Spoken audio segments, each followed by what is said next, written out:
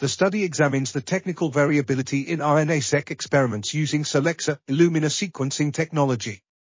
The authors found that large disagreements between technical replicates occur when coverage is low, and exon detection is highly variable at this level of coverage.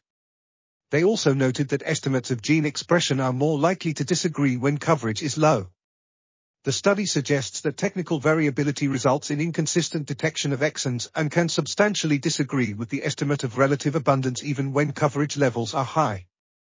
The authors provide practical recommendations for dealing with technical variability without significant cost increases.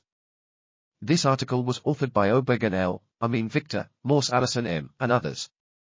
We are RTCL.TV, links in the description below.